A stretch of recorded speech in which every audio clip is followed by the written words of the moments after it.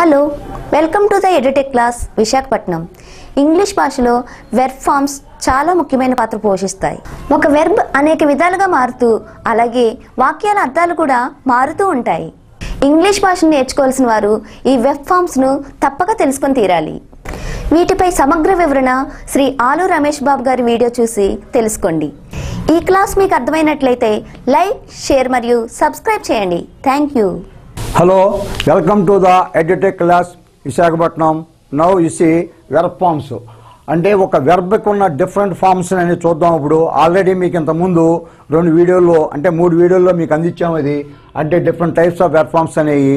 ఈ యొక్క ఫార్మ్స్ అనే వెర్బ్ యొక్క డిఫరెంట్ టైప్స్ అనేవి ఒక వెర్బ్కే ఉంటాయి కానీ అలా కాకుండా మీకు ఎడ్జెక్టివ్ కానీ యాడ్ వెర్బ్ కానీ నౌను కానీ వాటికి ఉండవు. ఒక వెర్బగా ఉంటాయి. ఎందుకు వెర్బకు ఉంటాయంటే సెంటెన్స్ మన హార్ట్ ఎలాగో సెంటెన్స్ యొక్క కన్స్ట్రక్షన్కి వెర్బ్ ఎలా ప్రముఖ పాత్ర పోషిస్తుంది. అంటే ఆ వెర్బ్ వాడే విధానం బట్టి సెంటెన్స్ యొక్క మీనింగ్ ఉంటుంది. అంటే అది మీనింగ్ అంటే ఐ మీన్ అది ఒక అంటే ప్రజెంట్లో చెప్తున్నామా లేదా పాస్ట్లో చెప్తున్నామా లేదా వాక్యం ఫ్యూచర్లో చెప్తున్నామా అనేది మనం ఉపయోగించే వెర్బ్ మీద ఆధారపడి ఉంటుంది. కనుక వెర్బ్కి డిఫరెంట్ ఫామ్స్ ఉంటాయి అన్నమాట ఈ డిఫరెంట్ ఫామ్స్ మీకు క్షుణ్ణంగా తెలిసినట్లయితే సెంటెన్స్ యొక్క కన్స్ట్రక్షన్ ఈజీగా ఉంటుంది. అలాగే ఇంగ్లీష్ గ్రామర్ నేర్చుకోవాలన్నా అలాగే స్పోకెన్ ఇంగ్లీష్లో అంటే స్పోకెన్ ఇంగ్లీష్ నేర్చుకోవాలన్నా మెయిన్గా ఈ యొక్క వెర్బ్ ఫామ్స్ అనేది మీకు వచ్చి ఉండాలి. వెర్బ్ ఫామ్స్ క్షుణ్ణంగా వచ్చినప్పుడే మనకి ఇంగ్లీష్ యొక్క కన్స్ట్రక్షన్ అర్థమవుతుంది.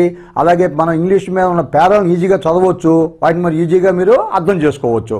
ఇక్కడ చూడండి ఇక్కడ మీకు ఈ వెర్బ్స్ని డిఫరెంట్ టైప్స్ అంటే అంతకుముందు చెప్పినట్లుగానే ఇది మీకు దట్ మీన్స్ పార్ట్ త్రీ అందించాం మీకు already it is the part four of the video ఇది పార్ట్ ఫోర్ ఆల్రెడీ మీకు పార్ట్ వన్ టూ త్రీ అనేవి యూట్యూబ్లో ఉన్నాయి. ఇది పార్ట్ ఫోర్ ఇది నాలుగో వీడియో అనమాట ఈ వీడియోలో మరికొన్ని వెబ్స్ ఇచ్చాం మీకు.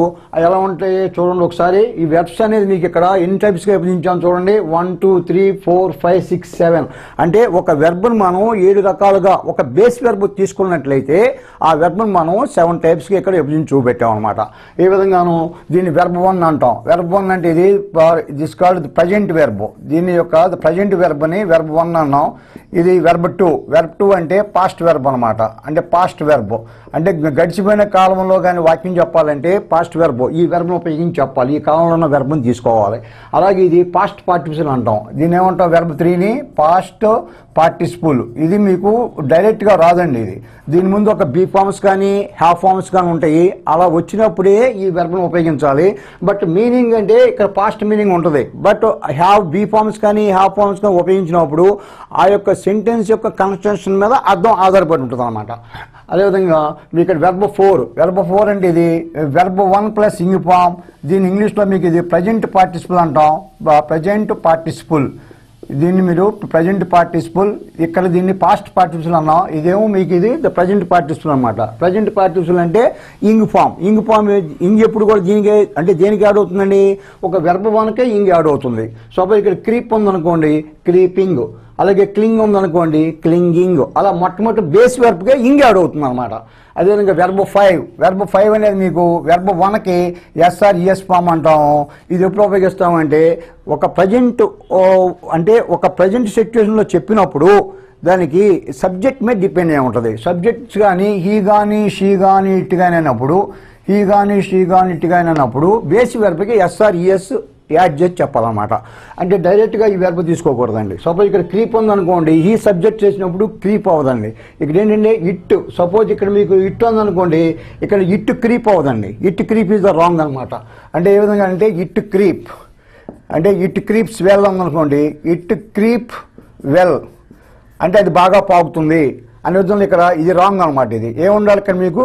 క్రీప్స్ ఉండాలి. సిఆర్ఈపిఎస్ ఎందుకు ఉండాలంటే హీ కానీ షీ కానీ ఇటు కానీ సబ్జెక్టులుగా వాడినప్పుడు ఒక ప్రజెంట్ సిచ్యువేషన్లో వెర్బ్కి ఎస్ఆర్ఈఎస్ ఫామ్ యాడ్ అవ్వాలి. అందువలన ఇది కూడా మీకు ప్రజెంట్ సిచ్యువేషనే అంటే వెర్బ్ ఫైవ్ అనేది కూడా ప్రజెంట్ సిచ్యువేషన్ నుంచే వస్తుంది అనమాట ఇది కూడా. దానికి ఎస్ఆర్ ఎస్ఆర్ఈఎస్ ఫామ్ యాడ్ అవుతుంది. కనుక ఇది కానీ గుర్తుపెట్టినట్టయితే ఈజీగా వస్తుంది అన్నమాట మీకు ఇది. ఆ తర్వాత టూ ప్లస్ వెర్బ్ వన్ ఇది షార్ట్ పిచ్ అండి ఇది. దీని మీద టూ ఇన్ఫెంట్ అని కూడా అంటారు. దీని ఇంగ్లీష్లో గ్రామర్లో టూ ఇన్ఫెంటు టూ ఇన్ఫెంటు అని కూడా అంటారు.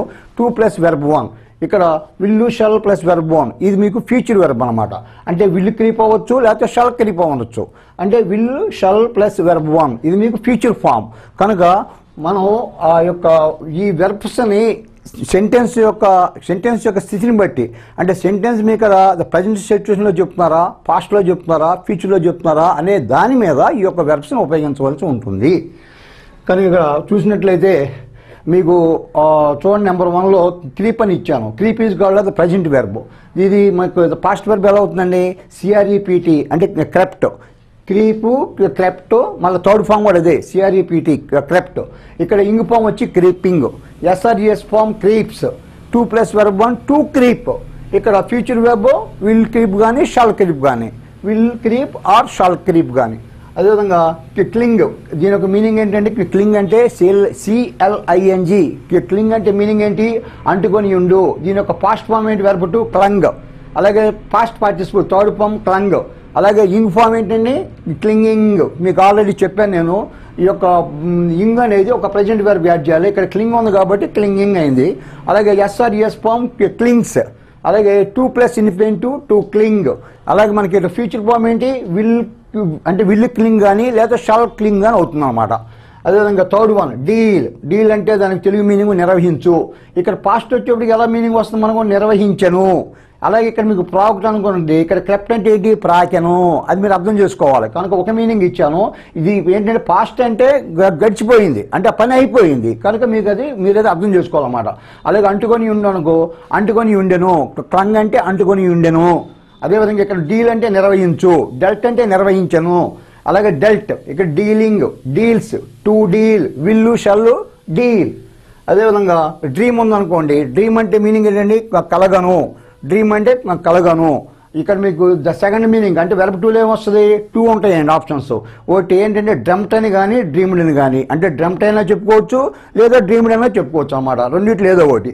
అలాగే వెరబ్ త్రీ కూడా అంతే. డ్రమ్ట్ కానీ డ్రీమ్డ్ కానీ అలాగే ఇంగ్ ఫామ్ డ్రీమింగ్.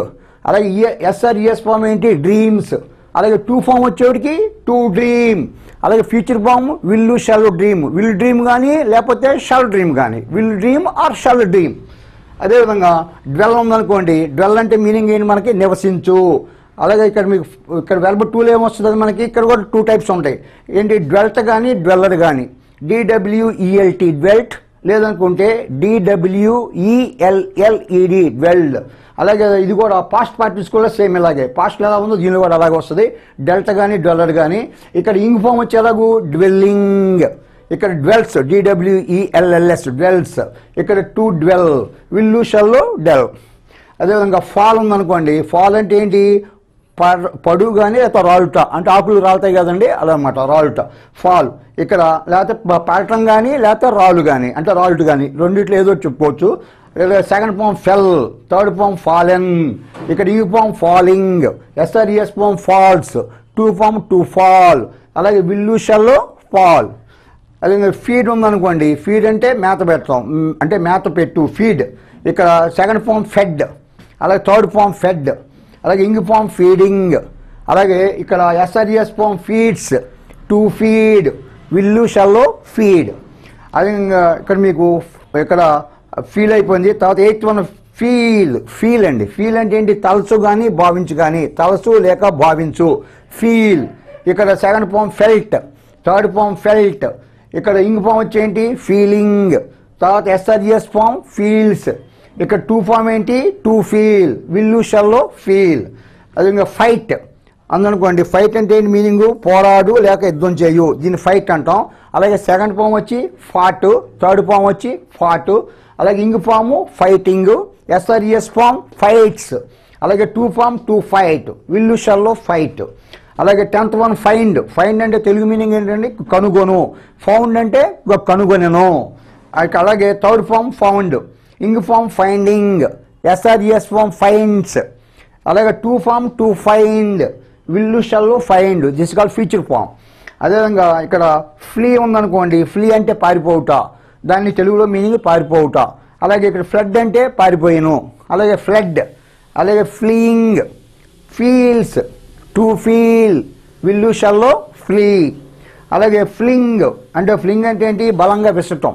అలాగే ఫ్లంగ్ బలంగా విసిరను. అలాగే ఫ్లంగ్ ఇక్కడ ఇంగ్ ఫామ్ ఇక్కడ ఏంటి? ఫ్లింగింగ్ ఇక్కడ S R S form flings అలాగే to fling will shall fling అంటే విల్లు ప్లింగ్ కానీ లేదనుకుంటే షల్ ప్లింగ్ కానీ అలాగే ఇక్కడ మీరు ఫ్లై చూస్తున్నారు అనుకోండి ఫ్లై అంటే తెలుగు మీనింగ్ ఎగుట అలాగే దీనికి పాస్ట్ వెర్బ్ ఏంటండి? ఫ్లూ ఫ్లై ఫ్లూ అలాగే పాస్ట్ పార్టిబుల్ ఫ్లోన్ అలాగే ఇంక్ ఫామ్ ఏంటి? ఫ్లయింగ్ ఆ తర్వాత s or es form flies తర్వాత టూ ఫామ్ టూ ఫ్లై తర్వాత future form will shall fly will fly కానీ షల్ ఫ్లై కానీ ఈ విధంగా మీకు అప్ టు మీకు ఫోర్ వీడియోస్లో మీకు ఆల్మోస్ట్ ఆల్ అంటే ఫార్టీ ఫార్టీ యొక్క వెర్ఫామ్స్ అని ఇచ్చాం. These are called irregular verbs అనమాట ఇంగ్లీష్ గ్రామంలో ఏమని పిలుస్తారు దీన్ని? ఇర్రెగ్యులర్ వెర్బ్స్ అని ఇర్రెగ్యులర్ వెర్బ్స్ అని పిలుస్తారు. ఎందుకంటే ఒకదానికొకటి పోలిక ఉండదు. అంటే ఏ విధంగా ఉండదు? ఇక్కడ చూడండి ఇక్కడ మనకి అంటే ఫస్ట్ బేస్ వెర్బ్ ఒకటి ఉంటుంది అలాగే సెకండ్ మారిపోతుంది థర్డ్ కూడా కొన్నిట్లో మారుతుంది లేదా సెకండ్ థర్డ్ కొన్నిట్లో ఒకే రకంగా ఉంటుంది. కనుక ఇది ఇంగ్లీష్ ఇర్రెగ్యులర్ వెబ్స్ అంటారు. ఈ మాత్రం మీరు చాలా అంటే వీటిని బుక్స్లో అంటే నోట్బుక్లో రాసుకుని చెప్పినవన్నీ కూడా వీటిని క్షుణ్ణంగా మార్నింగ్ కానీ చదివినట్లయితే గుర్తుంటాయి. ఎవరైనా సరే కంపల్సరీగా వీటిని బైహాట్ చేయాల్సిందేనండి. వెర్ఫామ్స్ని పెద్ద బేసిక్ ఇది ప్రిలిమినరీ నాలెడ్జ్ ఈ యొక్క బేసిక్ వెర్ఫామ్స్ని మీరు కంపల్సరీగా బైహాట్ చేయాలి. ఈ వెర్ఫామ్స్ క్షుణ్ణంగా వచ్చినప్పుడే మీ ఇంగ్లీష్లో మనం ముందుకెళ్తాం అనేది జరుగుతుంది. వాక్య వాక్యం యొక్క కన్స్ట్రక్షన్ కానీ లేదా ఒక ప్యాసేజ్ అండర్స్టాండ్ చేసుకోవాలన్నా కానీ మెయిన్గా వెర్ఫామ్స్ అనేది వచ్చి ఉండాలి. ఆ తర్వాత మనం సింపుల్ గ్రామర్ రూమ్స్ గురించి తెలిస్తే ఈజీగా మనం అంటే మన గ్రామర్ ఈజీగా అర్థమవుతుంది. లేదా మనం మనం ఈజీగా ఇంగ్లీష్లో మాట్లాడటానికి ఈ వెర్ఫామ్స్ మెయిన్గా మీకు అది బాగా హెల్ప్ చేస్తాయి. కనుక ఆల్మోస్ట్ మా యొక్క వీడియోస్ సూపర్ ఒక ఫిఫ్టీ టు సిక్స్టీ వీడియోస్ అన్నీ కూడా యూట్యూబ్లో ఉన్నాయి. ఆ వీడియోస్ అన్నీ చూడాలంటే మీరు యూట్యూబ్లో ఎడ్యుటెక్ రమేష్ అని చెప్పి టైప్ చేయండి. ఎడ్యుటెక్ ఎడ్యుటెక్ రమేష్ అని కానీ ఎడ్యుటెక్ రమేష్ అని చెప్పి టైప్ చేసినట్లయితే మా యొక్క ఇంగ్లీష్ గ్రామర్ మీద కానీ స్పోకెన్ ఇంగ్లీష్ మీద కానీ మా వీడియోస్ అన్నీ కూడా చూడండి. అలాగే ఇక్కడ మీకు స్పోకెన్ హిందీ కూడా కొన్ని వీడియోస్ అప్లోడ్ చేసాం ఆ యొక్క Hindi sir forty years experience అయిన ఆయన యొక్క వీడియోస్ కూడా దీనిలో మాకు యూట్యూబ్లో ఉన్నాయి యూట్యూబ్లోను. అలాగే మీకు అర్థమెటిక్ మీద అలాగే కాంపిటేటివ్ ఎగ్జామ్కి వెళ్ళే వాళ్ళకి రీజనింగ్ మీద కూడా కొన్ని వీడియోలు అప్లోడ్ చేయడం అనేది జరిగింది. వీడియోస్ అన్నీ కూడా మీ యూట్యూబ్లో చూడండి. మా వీడియోస్ కానీ మీకు కానీ లైక్ అయినట్లయితే it do one thing that is like share and subscribe okay I meet to again thank you to all